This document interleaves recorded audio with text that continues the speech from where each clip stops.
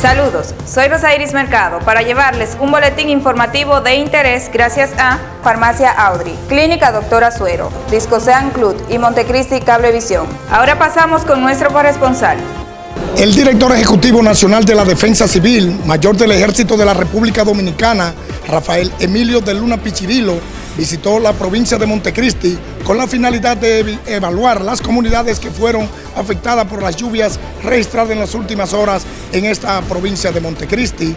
Estamos haciendo este descenso aquí a la provincia. Como saben, hay muchas comunidades eh, con vulnerabilidad, con el potencial de inundaciones, deslizamiento. Nosotros en el país a nivel nacional tenemos ubicados 1.786 lugares con vulnerabilidad en cuanto a inundaciones y deslizamientos. Y la provincia de Montecristi, por su topografía y por esa cuenca hidrográfica importante que llega hasta aquí, que es el río Yaque del Norte, así como eh, muchos asentamientos humanos ubicados en zonas de una, una cota baja, eh, significa que se inundan y que son propicios a seguir inundándose. Entonces, ¿qué tenemos que hacer? Estamos en coordinación con la gobernación, con las comunidades y vamos a visitar esos lugares y vamos a determinar cuáles son las acciones que debemos tomar en ese sentido.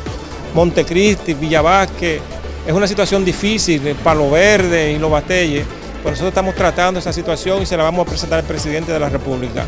Para Montecristi Digital, Santos Vázquez. Puede ver con más detalles estas y otras informaciones en los diferentes programas de Montecristi Digital Canal 8.